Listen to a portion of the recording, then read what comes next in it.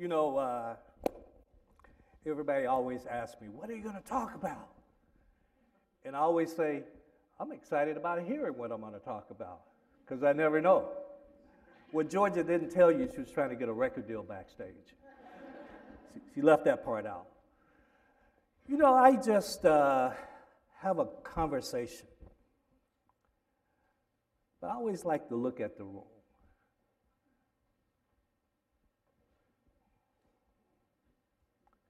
Something about being quiet and still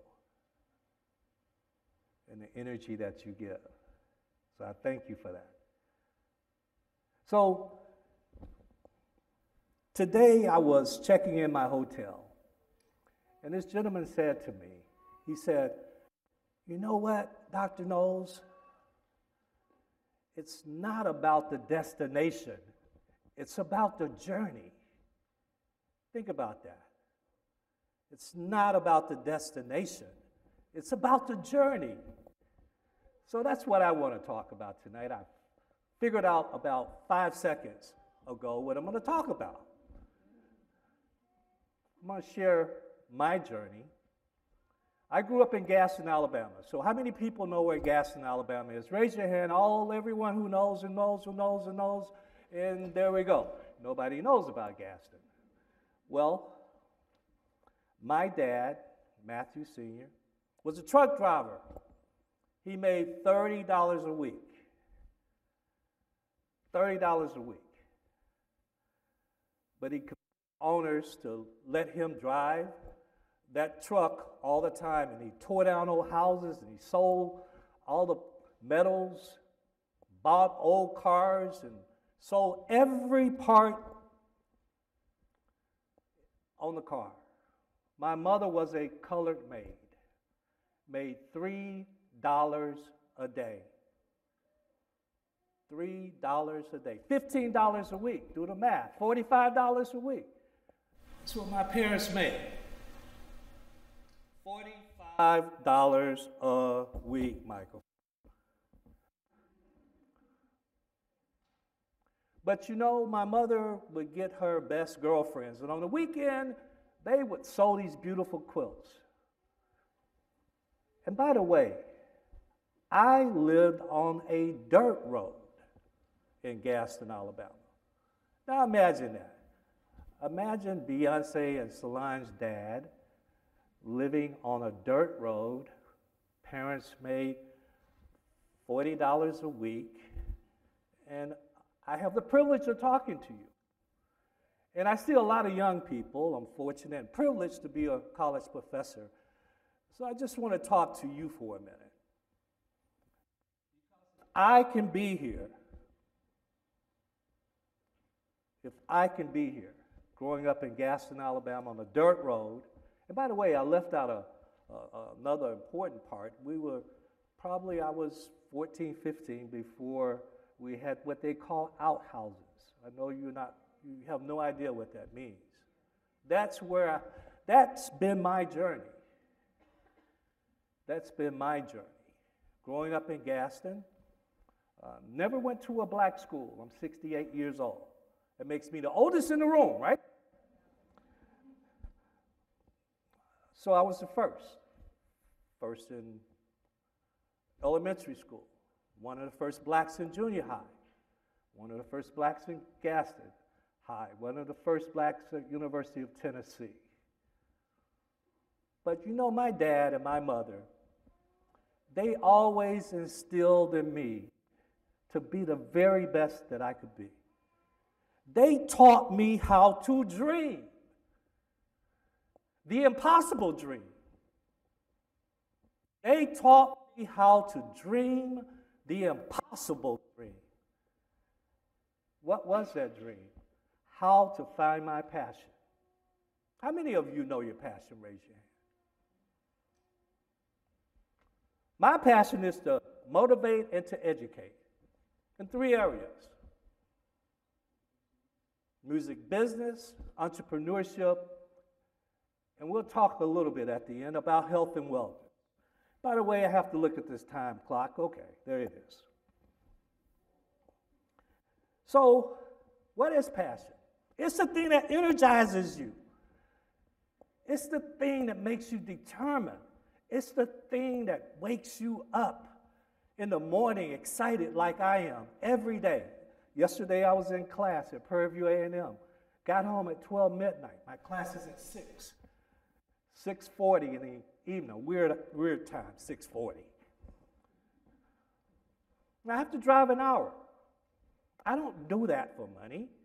I do it because I love it. My wife asked me, Why did you get home so late last night? I said, Finally, you know, semester just started, the fourth class. We finally connected, me and my students. And so, what does that mean? That means after class, my students finally wanted to have these dialogues and conversations. And I loved it. That's my passion. My passion is right here, right now, this moment, to be in front of you. Because when you live this wonderful thing called passion, you know, people ask me, well, when do you sleep? I sleep well because when you live your passion, you never work a day in your life. That has to be quite a experience to do something you don't love. That's not a part of you. Please find that passion. And, and passions change, by the way. You know, what I was passionate about when I was a young man, I wanted to play basketball, played high school, played University of Tennessee, excuse me. And I have a young, a lot of young men in the room that uh, might think that sports and, and, and hip hop is the only way, rap is the only way. Let me tell you, that's 1% industry. The music industry is a 1% success rate. To get into the NBA, NFL, baseball, that's 1%. Give you an idea 37,000 albums we make a year, 370 are profitable. So if that's what you want to do, you better be practicing. But you can't you can't practice and give it your all unless you're passionate about it. Because what coexists with passion? Work ethics coexists with passion. You know, I, I always say you can maybe outsmart me, but you're not going to outwork me. And I can say that because I love what I do. I'm very fortunate. I I get to live a life today that I don't have to do anything I'm not passionate about doing. I can't wait till you can have that sense of ownership about the word passion and those work ethics. And certainly, I can't, in this brief moment, talk about these 10 traits, and, and hopefully, we'll have another opportunity, but I will talk about a few other than passion and work ethics. You know, it, and I'll talk a little bit, I don't normally, this is something I've never done actually. I'll talk about Beyonce. Do y'all know her?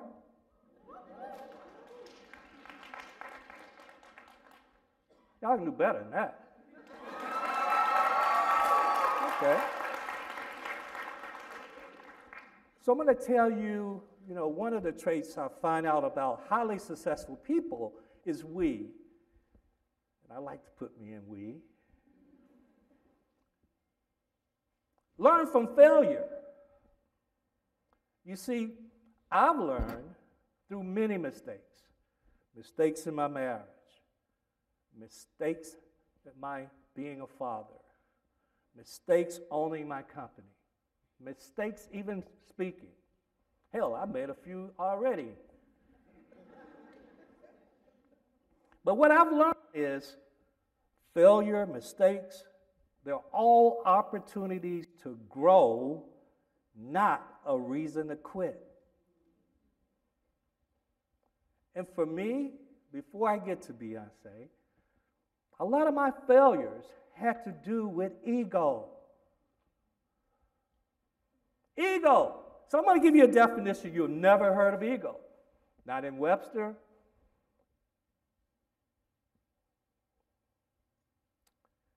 I'm going to give you that definition.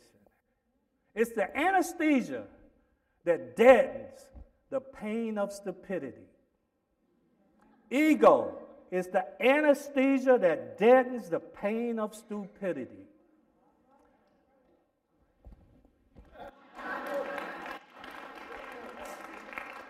Drop the mic on that one. See, I, I, I love doing this to have fun and, and hopefully share. I don't get uptight and you know, there's no right or wrong way for me. It's what I feel at the moment. This moment we'll get to share for the rest of our lives. We spent this moment together. So it's a very special moment for me to share it with you. So Beyonce was a young kid and at nine years old, she was on this show called Star Search. So think American Idol. These girls were little girls, kids. They lost. But guess what? Justin Timberlake lost. Aaliyah lost. Boyz II Men Christina Aguilera lost. I can go on and on and on. And you'll find that these highly accomplished people that we all look up to, they failed in their lives. They lost. Beyonce lost. Then her and a girl group, Girls Tyme, then got a record deal with Elektra Records. They got dropped. For those of you that don't know what that means, they got fired. That's what it means. And then Destiny's Child went on to be the most successful girl group in the world. I did say the world.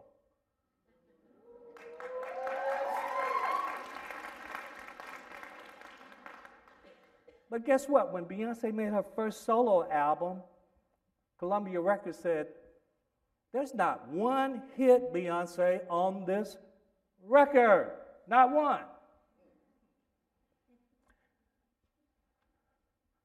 They were kind of right.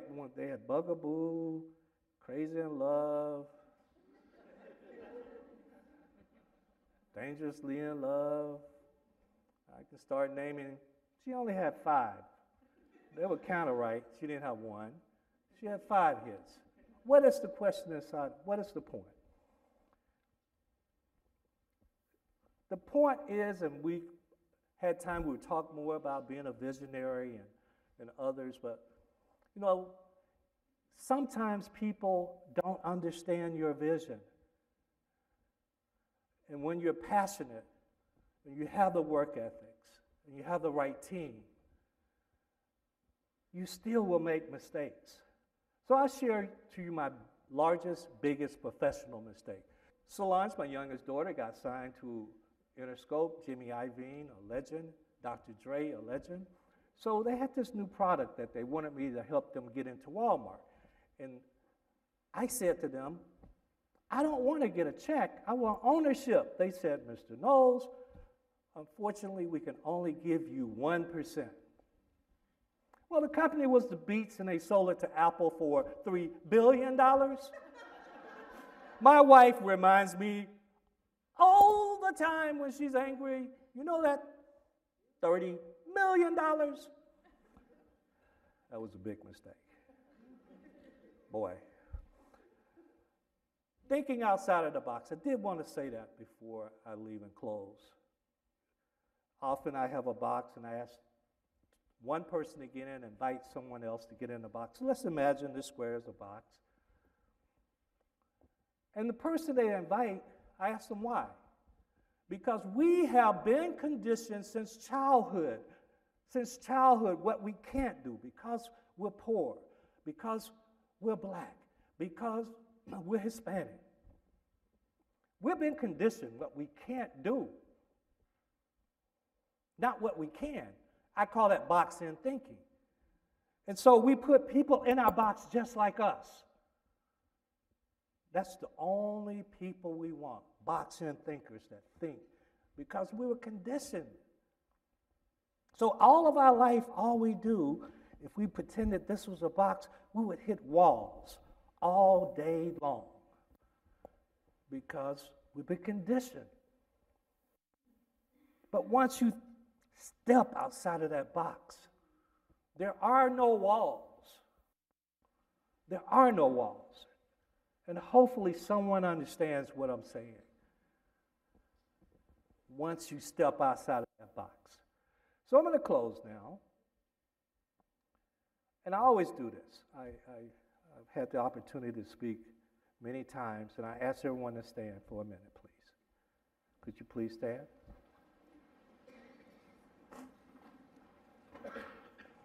So I like to tell a story. I travel a lot, and I was going down an escalator. But you know, I want to regress and back up. In July of last year, I had a dot on my t shirt. Imagine a red dot. Take a pen, a piece of white paper, and a dot was on my t shirt, inside of my t shirt. The next day, another dot. The next day, another dot. You know, I was fortunate. 20 years I did diagnostic imaging. I sold xeroradiography, uh, the leading modality for breast cancer, first black man to sell MRI scanners in America, and ended up a neurosurgical specialist. So I knew when I saw that, that dot, something was wrong. And I sold mammography equipment. And yes, men do get male, what I call male chest cancer, also known as male breast cancer. And I went and got an x ray, a mammogram actually, and an ultrasound, and found out that's what I had. I immediately had surgery. But the first thing I asked myself, why? Why me? And I remember going down that escalator that I started that story. And there was a nun from Mexico she had a jar and, a missionary. She asked, please give. And I gave. She gave me a card, like some of you might give me a card today. I'm very transparent. I'm not going to read that card. But I finally, one day, looked in my pocket and I did read this card. That's what I want to end today with. It said, Pray not for a life free from trouble. Pray for triumph over trouble. For what you and I call adversity, God, the universe, whatever name you want, calls opportunity. That was an opportunity for me. And I go all over now and I spread this story about male chest cancer and early detection for men and women, and a BRCA genetics that you've never heard and I don't have time to explain. But I wanted to share, just like today, this man said to me out of nowhere, it's not the destination, it's the journey. Thank you.